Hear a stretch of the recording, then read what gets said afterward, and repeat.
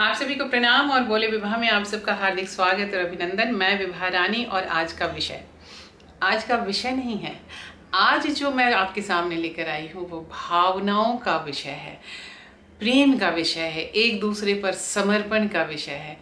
और वो क्या है? क्योंकि आज रक्षाबंधन है। आज राखी है और राखी का पर्व आप सब जानते हैं, भाई और बहनों का अटूट पर्व है। अटूट प्रेम का पर्व है। और यह आज के दिन भाइयों की कलाई पर बहनें राखी बांधती हैं, जिसे रक्षा सूत्र कहा जाता है। और भाई बहन को यह वचन देता है कि हर संकट के समय में हम तुम्हारी रक्षा करेंगे। और बहनें भी इस उम्मीद में एक गठरी लेकर के यहाँ अपने घर से चले जाने की, दूसरे घर में चले जाने की, अपनी पूरी ज़िंदगी काट देने की बात करती है कि हम दूर देसनी हो भैया, गठरिया के रे यास उसे बहन से अपने उसे अपने भाई से सिर्फ़ इतनी ही प्रेम की उम्मीद रहती है कि भाई उसे छठे छमा से कभी उसकी खबर ले ले। क्या है ये भाई बहन का प्रेम और कहाँ से? आ, इसकी शुरुआत हुई है ये तो मुझे नहीं पता। लेकिन बहुत मशहूर कहानी हुमायूं और रानी कर्नावती के बारे में आप सब जानते होंगे। मैं जब खोज रही थी तो मुझे राजस्थान पत्रिका में ये कहानी छपी हुई, इस इस इस हुमायूं और कर्णावती के बारे में मिला और मैंने सोचा कि मैं इसे आपके बारे में, आपको इसे बताऊँ और उसके बाद फिर हम अपनी बात करते हैं। तो ये रक्षाबंधन भाई बहन के प्रेम की कहानी है, ये तो हम जानते हैं, आप सभी जानते हैं, लेकिन ये उस जमाने की बात है जब रानी कर्णावती और हुमायूं की बात, आप हुमायूं को और उसके मुगल साम्राज्य, सम्राट को आप देख लीजिए प्रेम जात पात और ये सब नहीं देखता है, ना धर्म देखता है, ना कुछ देखता है। बहरहाल हम पहले कहानी सुनते हैं कि यह उस जमाने की बात है जब देश के राजा महाराजा बात बात पर युद्ध के लिए तैयार हो जाते थे। तब चित्तौड़ पर बहादुर शाह ने हमला किया। रानी कर्णावती विधवा थी और उनके पास इतनी सैन्य शक्ति नहीं थी कि वे अपने राज्य की रक्षा कर सके। तब उन्होंने हुमायूं को राखी भेजी और मदद की प्रार्थना की। राखी वैसे हिंदुओं का पर्व है, लेकिन जब संकट में आप होते हैं, आप किसी से भी गुहार लगा लेते हैं और सही इंसान और सच्चा इंसान मनुष्य वही होता है जो संकट में पड़े मनुष्य की रक्षा करें। हुमायूं ने राखी कर्णावती की राखी का मान किया सम्मान किया और फैसला किया कि वो राके, वो कर्णावती की मदद ज़रूर करेंगे। अपना प्रण निभाने के लिए हुमायूं एक विशाल सेना लेकर चित्तौड़ की ओर चल पड़े। वह जमाना हाथी घोड़ों की सवारी का था। सेना को साथ लेकर के सैकड़ों किलोमीटर की दूरी तय करना आसान नहीं था। और उसमें वक्त लगना भी स्वाभाविक था। हुमायूं चित्तौड़ तो पहुँचे, लेकिन तब तक बहुत देर हो चुकी थी। आठ मार्च पंद्रह को रानी कर्णावती ने चित्तौड़ की वीरांगनाओं के साथ जौहर कर लिया और अग्नि में समा गई। बहादुर शाह ने चित्तौड़ पर कब्जा जमा लिया था। जब यह खबर पहुँची वहाँ तक हुमायूं तक तो हुमायूं, उन्हें बहुत दुख हुआ। उन्होंने हमला किया। हुमायूं को विजय विजय मिली और उन्होंने पूरा शासन रानी कर्णावती के बेटे विक्रमजीत सिंह को सौंप दिया। इस घटना को सैकड़ों साल गुजर चुके हैं। आज हुमायूं भी नहीं है और कर्णावती भी नहीं है। लेकिन भाई बहन का रिश्ता, अटूट रिश्ता, अटूट प्रेम, निस्वार्थ प्रेम आज भी बरकरार है हमारे और आपके बीच। ये रिश्ते कभी कभी जब बिल्कुल अर्थ में बदल जाते हैं, जब बिल्कुल उसका कमर्शलाइजेशन हो जाता है तब उसमें एक अलग सा मोड़ आता है। यह मोड़ किस रूप में आता है, इसके बारे में भी हम आपसे बताएँगे। क्योंकि एक धागे से शुरू हुआ यह प्रेम, आज किस तरीके से पैसों के तराजू पे तोला जाता है?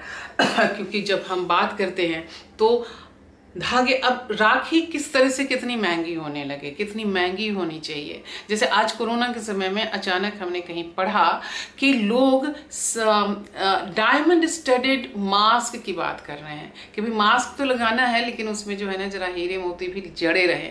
मतलब हमारे पास उन लोगों, कुछ लोगों के पास इतने पैसे हैं कि उन्हें इस तरह के फैशनेबल मास्क चाहिए। जान बचाने के साथ साथ खूबसूरती तो होनी चाहिए, खूबसूरती तो हमें भी चाहिए। और हमने मधुबनी पेंटिंग से सजे हुए मास्क का हमने ऑर्डर भी किया है। आप भी अगर चाहें तो करवा लीजिएगा। मैं आप, मैं फेसबुक पर डिटेल शेयर करने वाली हूँ जल्द ही। बहरहाल राखी रक्षाबंधन के कमर्शलाइजेशन की हम बात कर रहे हैं और मार्केट में इस बार तो पता नहीं कहाँ क्या सजेगा क्योंकि पूरा मार्केट बंद है कितना क्या है मालूम नहीं। हम तो नीचे जाते नहीं हैं बाहर जाते नहीं हैं। लेकिन आ, हर साल का ये नज़ारा रहता है कि बाज़ार में राखी सज जाती है लोग खरीदते हैं और अब सोने चांदी और हीरे जड़े भी राखियाँ जो है वो मिलती हैं और बहनें भाइयों को भेजती हैं और और और उनके बदले में भाई तरह तरह के उपहार देते हैं। भाइयों के उपहार उपहार देने की बात कोई नई नहीं है और भाई अपने प्रेम के, बहन के प्रेम का एक एक एक एक उसकी निशानी और उसके अपने स्नेह के स्वरूप यह भेंट देते हैं। लेकिन मुझे याद है कि एक बार एक बहन ने कहा कि वो बड़ी उनका मूड राखी के बाद वो आई राखी या भाई दोज मुझे ठीक से याद नहीं है। लेकिन उसके बाद आई, बड़े फाउल मूड में थी। कहती कि, छह, मेरा तो मेरी तो मेरी तो पूरी छुट्टी बर्बाद हो गई। जी, हमने कहा कि क्या हो गया? उसकी सहेलियों ने पूछा। मैं भी वहीं पर थी, सुन रही थी कि क्या हुआ? कहा, जी, कुछ भी नहीं, हमने तो जी, हमने तो पूरी रक्षाबंधन हमारा जो है वो बर्बाद चला गया। जी, हमने कहा, पर हुआ सबने पूछा कि पर हुआ क्या?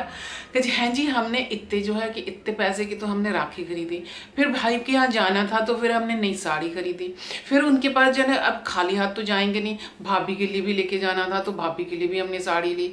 फिर बच्चों के लिए भी हमने आ, कुछ ना कुछ जो है वो गिफ्ट लिए फिर मिठाइयाँ ली। ये सब करते वरते में जो है जो हमारे जो कुछ नहीं जी तो दो दो तीन ये आज की बात नहीं मैं तकरीबन पंद्रह बीस साल पहले की बात कर रही हूँ उससे भी ज़्यादा की बात कर रही हूँ। तो उन सब में हमारे जी जो है ना, जो वो तीन हज़ार के करीब, ढाई तीन हज़ार रुपये लग गए। उसके बाद आना जाना, जी टग, अब इतने सज दज के और बाल बच्चों को लेकर के इतने सामान के साथ जो है ना वो ट्रेन और बस बस में तो लटकते हुए नहीं जाएँगे ना जी।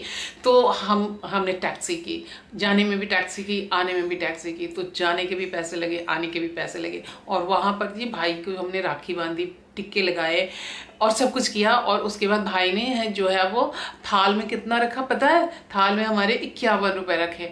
मेरा तो मन हुआ कि वो रुपए इक्यावन रुपए घुमा करके उसके मुँह पर मैं दे मारूं कि कम वक्त तो इतनी तुझे सूझ रही है, इतना कंजरपन तुझे सूझ रहा है कि बहन को देने के लिए तेरे पास इक्यावन रुपए है, जो बहन तेरे लिए इतने हज़ारों रुपए के लिए तुम्हारे, तुम सबके लिए लेके आई है। किसी ने पूछा कि नहीं, रहने दो ना, ठीक है ना, हो सकता है भाई के पास ना हो। ना जी, ऐसा कुछ नहीं है। हमारी ही तरह जैसे हम खाते पीते हैं, वैसे ही भाई भी खाता पीता है। जो उसकी कंजूसी और वो सब कुछ नहीं जी, उसकी भाभी मेरे हमारी भाभी जो है ना, वो भाभी बड़ी कंजूस है, बड़ी मक्कर है, और उसने उसको सिखा पिखा पढ़ा दिया होगा कि देखना जी, बस इतने से ज़्यादा ना देना, और अब तो मैं अगले साल से कभी ना जाऊँगी, बस डाक में राख ले करके भेज दोगे। बिल्कुल जी, डाक में आप राखी लेकर के भेजें, या चाहे आप उसे जा करके भाई को बाँध करके आए, चाहे आप कुछ भी करें। ये आपके ऊपर है, ये आपके मर्ज़ी के ऊपर है, आपके मन के ऊपर है, आपकी श्रद्धा के ऊपर है, आपके विश्वास के ऊपर है। हम तो ये मान करके चलते हैं कि भाई और बहन का प्रेम सिर्फ़ एक राखी के धागे से बंधा हुआ हो, उसमें कहीं कोई किसी भी तरह का अर्थ ना घुसे। आपके पास कुछ नहीं है, आप एक गुड़ का टुकड़ा भी खिला सकते हैं और गुड़ का टुकड़ा भी खिला करके आप भाई बहन के इस पर्व को मना सकते हैं। हाँ अब ये है कि भाई बहन के इस रक्षा सूत की और रक्षा सूत्र के इसके रूप में क्या परिवर्तन होना चाहिए या नहीं होना चाहिए? मुझे लगता है कि इसके स्वरूप में भी परिवर्तन होना चाहिए। सबसे पहले तो ये कि भाई को इतनी बड़ी ज़िम्मेदारी क्यों दी जाए कि वो तू बहन की रक्षा करता, फिर उसके पास और कोई काम धंधा नहीं है तो बहन की रक्षा फिर करती, फिर। और बहन को इतना कमज़ोर क्यों बनाया जाए कि वो भाई की, भाई का मुँह जो है कि भाई मेरी रक्षा करेगा। फिर बहन को आप जूडो सिखाइए, कराटे सिखाइए, उसको पढ़ाइए, लिखाइए, उसको इस लायक बना दीजिए कि वो अपनी रक्षा खुद कर सके। और भाई को भी इस रूप में आप तैयार कीजिए कि भाई देखे कि हाँ मेरी बहन जो है वो हर तरह से अपनी अपनी मदद खुद करने के लिए तैयार है कि नहीं? स, आ, आ, अपनी मदद खुद करने के लिए तैयार है और पीछे से आप उसके सपोर्ट में रहिए आप उसके सहारा बन करके रहिए ताकि उसे लगे। यह प्रॉपर्टी के बंटवारे में भी है। हमारे हिंदू लॉ के हिसाब से तो है कि शादीशुदा मतलब घर की बेटियों को भी पैतृक संपत्ति में और उसे हक मिलना चाहिए। लेकिन भाई जरा ये सोचें आप सब कि कितने भाई हैं जो अपनी बहनों को पैतृक संपत्ति में हिस्सा देते हैं। और बहन जो है, अभी भी कि संबंध ना बिगड़े, रिश्ते ना बिगड़े। चलो, एक मायका तो है, और मायका तो माँ बाप के बाद भाई ही तो सहारा है, और भाई ही तो है। और ये सोच करके बहनें अपने, अपना अपना वो सारा हक छोड़ देती हैं और फिर वही एक उस गाने के साथ कि, हम दूर देसनी हो भैया, गठरिया के रे आस। कि एक टुकड़ा मिठाई के लिए, एक टोकरी के लिए, एक साड़ी के लिए, एक गठरी के लिए, बस हम सब कुछ हम अपना छोड़ देते हैं। जब पूरा घर छोड़ करके दूसरे घर चले गए तो बाकी चीज़ों का क्या? तो भाई बहन का यह प्रेम है भाई बहन का यह त्याग है। आपके पास सैकड़ों कहानियाँ होंगी जिसमें भाई ने बहन के लिए त्याग किया आपके पास हज़ारों कहानियाँ होंगी जिसमें बहन ने भाई के लिए त्याग किया। और ऐसी कई कहानियाँ होंगी कि जहाँ भाई और बहन दोनों एक साथ मिल करके और उन्होंने कई कई तरह के प्रतिमान रखे। हमने भी एक प्रतिमान गढ़ा। हमारा एक छोटा सा प्यारा सा भाई है Shri Ram Dalton. Film maker है, बहुत बड़ा फ़िल्म मेकर है और अभी उसकी एक फ़िल्म आई है स्प्रिंग द स्प्रिंग थंडर और जिसके रिलीज़ के चक्कर में वो यहाँ से वहाँ तक अभी घूम रहा है, लेकिन उसकी जो नेशनल अवार्ड विनिंग फ़िल्म है द लॉस्ट बहरूपिया और जिस पर उसे नेशनल अवार्ड मिला था। बहुत प्यारा इंसान है, बहुत प्यारा बच्चा है वो। एक दिन उसमें आया, हमने ऐसे ही फेसबुक पर लिख दिया था कि मेरे पास तो कोई, मेरे ना भाई है ही नहीं आस पास के, हम किसी को राखी बांधे। तो वो आया, दो, दौड़ता दौड़ता, कहा कि, दीदी, आज आप राखी नहीं बांधेंगी, आज मैं आपको राखी बांधूँगा। और फिर उसने मेरी कलाई में राखी बांधी और फिर मैंने उसे नेक दिया। और इतना मतलब एक हमने पूरा का पूरा उदाहरण हमने चेंज कर दिया, एक रवायत हमने चेंज कर दी कि बहन ही राखी क्यों बांधे, भाई क्यों भाई क्यों ना बांधे राखी बहन को? तो मेरे राज श्री राम डाल्टन ने मुझे राखी, तीन साल पहले राखी बांधी थी और यह हमें हमें आज भी बड़ा सुखद लगता है। तो चलिए, राखी के इन तमाम तरह की शुभकामनाओं के साथ और प्रेम और मोहब्बत के साथ कि हमारा और आपका यह प्रेम बना रहे सभी भाइयों को, हमारे दुनिया के तमाम भाइयों को मेरा प्यार भरा नमस्कार और हमारे इस इस मंच के माध्यम से से बोले, विवाह के माध्यम से आप सब मेरी तरफ़ से अपने अपने कलाइयों में राखी बाँध लीजिएगा सारी बहनों को मेरा संदेश कि मेरी तरफ़ से भी एक धागा अपने भाई की कलाई में बांधिएगा और ताकि इस इंसानियत पर हमारी मोहब्बत बनी रहे। हम सब एक दूसरे के साथ मोहब्बत के धागे से बने रहें। नमस्कार, प्रणाम, फिर कल मिलेंगे।